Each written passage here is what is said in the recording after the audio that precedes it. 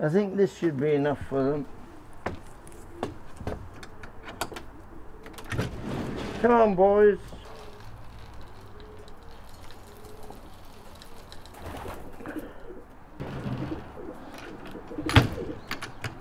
Where was I born? Scotland, to Drossen. Aneurin, Vernon Williams. Yeah, I used to race a lot. I've got 32 youngsters, 22 old birds. Most of them are over three years old. And I've got 22 yearlings. And that's its wing. It's all its feathers. All got its feathers there. I put, that's the ring that, that they have. The number 21. So that's this year's bred. 22 is the last figures of the mother. She's a very good pigeon. Well, my first pigeon I got from a lad that lived in Caercowan near Stranraer, and I wanted to do something with it. I was living in this huge big house, and I had a box outside that my dad had done up, and I got a pigeon, young wood pigeon, and took it in. Of course, you know what he did when they opened the door? He pissed off. He's gone. That's my mother. Beatrice Edna Williams. Funny old book, isn't it? You've yeah. been looking through it, Christ. There's some good pictures in this, That's actually. One, that's my father. Yeah. I think that's my father. That father as well. My father, isn't it? Yeah. And that's dad. Manda, Nona, me, and mother. Family life was uh, very quiet, really, because all I was doing was I was moved from school to school to school nearest to where my father was working because we've got the problem with the war coming out. So that was 1939, 1940, coming up that, that time.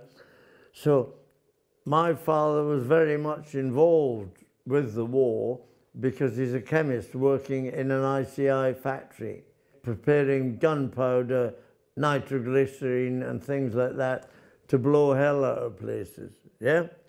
Manda was going to be a nurse, Nona was working in the factory, and I was at school.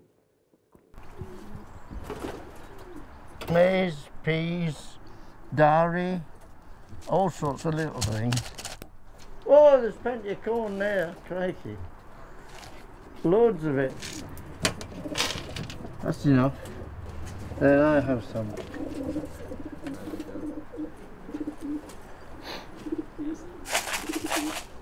Come on.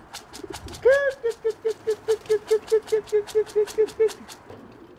I just used to look out the window in Scotland and I could see the aircraft carrier was out there with swordfish practicing taking off, coming down with torpedoes and this, that and the other. Not letting them go, but just practicing taking off and landing back in the aircraft, getting ready for going out to war. We didn't have much bombing up there. I didn't notice it. There was bombing in various parts of Scotland, but I was a bit young to bother about it. No, I must have been about the 39, I was nine, wasn't I? Amanda passed her exams and then she went off nursing to the hospital, wherever it was. and she ended up in the East India Dock in London. And she loved it because it was full of life. Everything was gone until the V-bomb started coming off. But anyway, they got away with it. The sun's coming up now, boys the art is feeding them so as they've got enough food to have energy and they've got a correct amount to make them feel hungry. I know your dad does that all the time, doesn't he? Doesn't your dad do that? Hey, you like that, don't you? oh, you got my skin. Oh!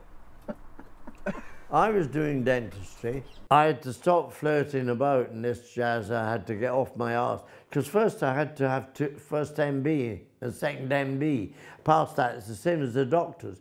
So if you don't pass that, you can't be a dentist. And I was there for four years, I think, before I got my degree. Then you sit in a big hall and it comes number 76, you've passed.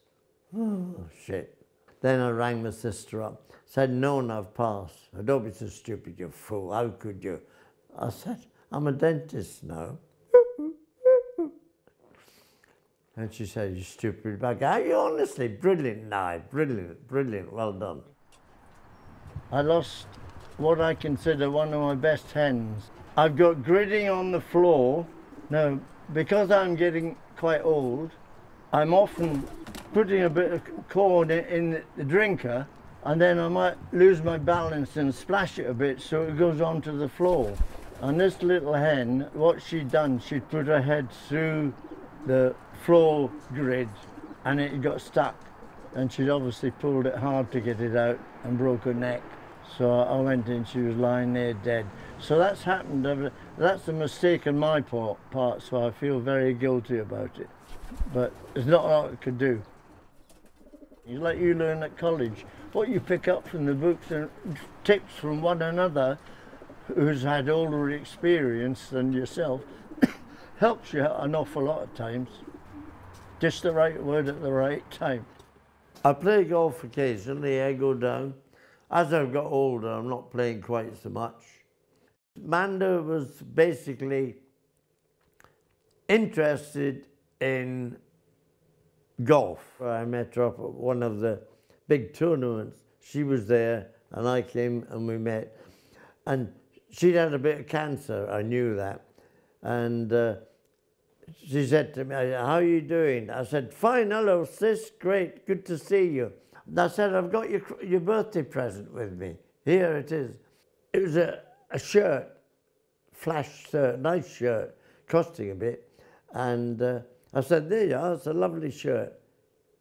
Oh, she said, that is terrific, isn't it? Here, hold this a minute. I said, hey, it's her birthday. I bought her a present. And uh, even people we didn't know, come on, get it on, let's have a look at it. And she put it on. I said, that's super, sis. That's my sister. They're great, never really went, way. And this was at the golf course. So I never forget that. That was it. It was funny, quite funny, actually. I was very touched when she died. I still cry. I won't talk about it. Yeah, of course, of course. Um, because I, I was going up to Manchester. She died in Manchester.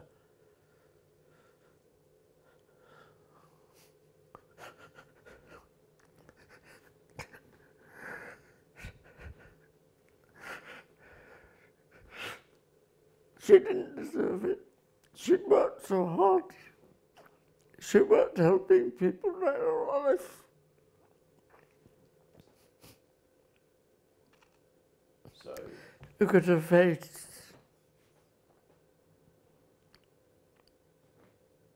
Come on, I'm coming in, you lot. What?